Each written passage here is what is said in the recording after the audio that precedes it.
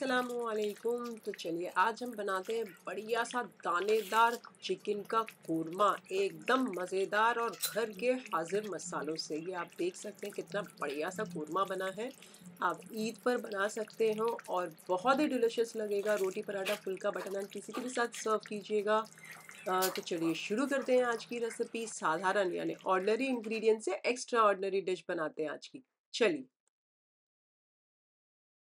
ये है तकरीबन साढ़े सात सौ ग्राम चिकन है। आप एक किलो तक की ले सकते हैं। मैंने चर्बी निकाल ली दो तीन पानी से धो के निताने दस पंद्रह मिनट के लिए छन्नी के ऊपर मैंने साइड पर रख दिया था। अब छुरी की मदद से इस तरीके से पोक कर दीजिए तो जो मसाला हम डालेंगे वो अंदर तक रीच हो जाएगा ना। तो अब उसे एक बाउल में डाल दीजिए और नमक डाल दीजिए स्वाद अनुसार। मैं थ्री फोर्थ छोटे चाय का चम्मच डाल रही हूँ। दो टेबल स्पून अदरक लहसुन का पेस्ट भी डाल दीजिए। चार छोटे चाय के चम्मच धनिया पाउडर दो छोटे चाय के चम्मच भरकर कश्मीरी लाल मिर्च पाउडर, एक छोटा चाय का चम्मच भुना पिसा जीरा पाउडर, आधा छोटा चाय का चम्मच हल्दी पाउडर, आधा छोटा चाय का चम्मच मैं जो स्पाइसी वाली लाल मिर्ची का पाउडर आता है ना, वो भरकर डाल रही हूँ। आप चाहें तो एक छोटा चाय का चम्मच डाल सकते हैं।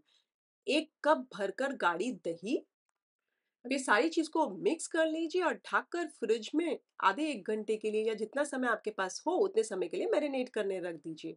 अगर आप चाहें तो अगले दिन रात को भी इसे मैरिनेट करके नेक्स्ट डे बना सकते हैं।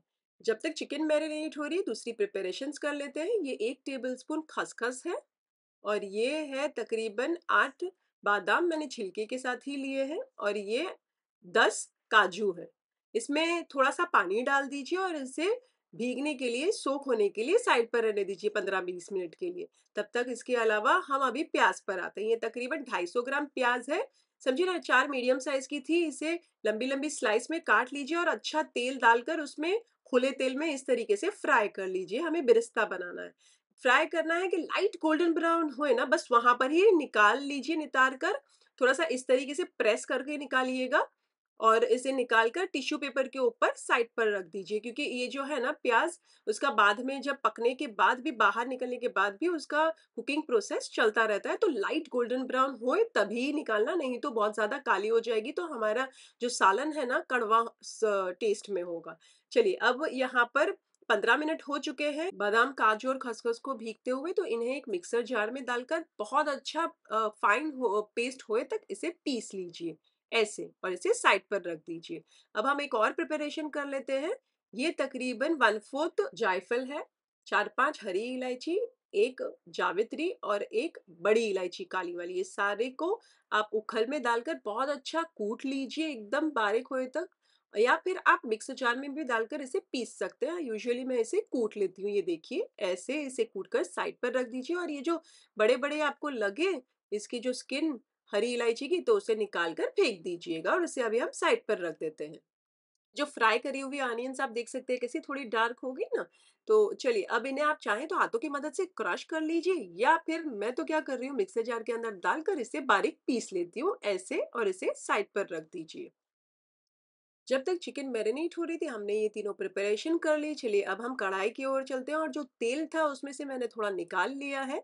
और अब ये गरम मसाले हैं, ये आधा छोटा चाय का चम्मच जीरा चार हरी इलायची, चार पाँच लौंग, दो तीन तेज पत्ता और चार पाँच काली मिर्च, ये सारा डाल दीजिए, चूल्हा फास्ट आँच पर चालू कर दीजिए और तेल में थोड़ा सा ये गरम मसालों को तड़तड़ा जाने दीजिए। जब अच्छे तड़तड़ा जाए तो जो चिकन मैरिनेट करके हमने आधे पौने घंटे पे पहले साइड पर रखी थी, वो सारी डाल दीजिए बिस्मिल्लाहिर्रहमानिर्रहीम बोलकर और फास्ट आँच पर इसे बार बार चलाते हुए चिकन को दो तीन मिनट तक पकने दीजिए। मैं तीन मिनट तक पका रही हूँ, आप चाहे तो मीडियम पर रख सकते हैं, बट मैंने फास्ट आँच पर चूल्हा रखा है। जब दो तीन मिनट तक पका ले तो चूल्हे को कर दीजिए स्लो आँच और इसे ढक कर तकरीबन 10-12 मिनट तक पकने दीजिए। जब 10-12 मिनट हो जाएगी तो तकरीबन 70 परसेंट तक हमारी ये जो चिकन है, ये गल चुकी होगी। जैसे आप देख सकते हैं, दही और चिकन दोनों का पानी छूटा है तो हमें इसे सुखा लेना है, चूल्हा फास्ट आँच करके इसे सुखा लीजिए। तब तक सुखाना है जब तक यहाँ तेल ऊपर नहीं आ जाता और भून नहीं जाता और ये सूख नहीं जाता हमारा ये जो ग्रेवी है। अच्छा अब इसी के दरमियान में मैं डाल देती हूँ चूल्हा मीडियम आँच करके, एक बार चला लेती हूँ और वो जो कूट के नहीं रखा है, सबसे पहले जो मसाला मैंने कूट के रखा था जो हरी हरी इलायची वगैरह डाला हुआ, वो डाल देती हूँ। अच्छा बिरिस्ता जो हमने पीस कर रखा है, वो डाल दीजिए और उसके साथ-साथ वो जो हमने सफ़ेद जो काजू और बादाम का पेस्ट बना के रखा है, वो भी डाल दीजिए और इसे सबसे पहले तो बहुत अच्छे से मिक्स कर लीजिए। इसी के दरमियान में क्या हुआ कि हमने जो मसाले जो सारे डाले हैं वो भुना भी जाएँगे ये मसाले जो अ, पानी जो छूटा हुआ था वो भी भून जाएगा और तेल छूट जाएगा ये देखिए।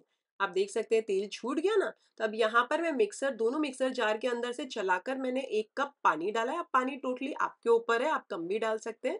इसे मिक्स कर लीजिए और चला लीजिए, अगर आपको नमक कम लगे तो चुटकी भर या नमक जो हिसाब से आपने एडजस्ट करना है, एडजस्ट कर लीजिए और इसे फ़ास्ट आँच पर उबाल खिला लीजिए। जब अच्छा उबाल आ जाता है तो स्लो आँच करके तकरीबन 12-13 मिनट तक दम पर पकने दीजिए। तब तक पकाएँ, जब तक चिकन पूरी तरीके से गल नहीं जाती। चलिए, तकरीबन 12 मिनट हो चुके हैं और चिकन गल चुकी है, क्योंकि मेरी चिकन बहुत छोटी थी। तो चलिए अब 12 मिनट के बाद आप बराबर से मेरा ग्रेवी भी परफेक्ट है, तेल भी आप देख सकते हैं मज़ेदार सा अगर तरी वाला ना सालन हो कोरमा दानेदार तो मज़ा ही क्या ही आप देख सकते हैं क्या बढ़िया दानेदार हमारा चिकन कोरमा रेडी है। अब आप थोड़ी-सी कोतमेर यानी कि हरा धनिया डाल दीजिए इसके ऊपर बारीक कटा हुआ। अच्छा आप चाहें ना तो इस समय आप थोड़ा-सा एक छोटा चाय का चम्मच केवड़ा वाटर डाल सकते हैं। मैं उतनी बड़ी फ़ैन नहीं हूँ उसकी तो मैंने नहीं डाला और मैंने चूल्हा कर दिया बंद। अब आप इसे रोटी, पराठा, फुल्का, बटर नान किसी के भी साथ सर्व कीजिए। वैसे इनमें से कुछ की रेसिपी लिंक्स डिस्क्रिप्शन के अंदर है, आप वहाँ चेक कर लीजिएगा। वैसे मैंने कुछ कोरमों की रेसिपीज़ या फिर आप कह सकें ग्रेवीज़ की रेसिपी मेरे चैनल पर अपलोड किए सारे प्लेलिस्ट लिंक्स डिस्क्रिप्शन के अंदर है, आप वहाँ चेक कर लीजिएगा। तो है ना मज़ेदार रेसिपी आज की? अगर आप ये वाली रेसिपी बनाएँ तो मेरे साथ इस वीडियो के कमेंट सेक्शन में ज़रूर शेयर कीजिएगा अपने कमेंट्स। मुझे आपके कमेंट्स पढ़ने बहुत अच्छे लगते हैं, रेसिपी अच्छी लगे तो लाइक ज़रूर कीजिए और उससे ज़्यादा अच्छी लगे तो अपने फैमिली और फ्रेंड्स में इस वाले वीडियो के लिंक ज़रूर फॉरवर्ड कीजिएगा। फिर से हाज़िर होंगी नई शानदार दमदार रेसिपी के साथ। अंटिल देन टेक केयर अल्लाह हाफ़िज़, बाय।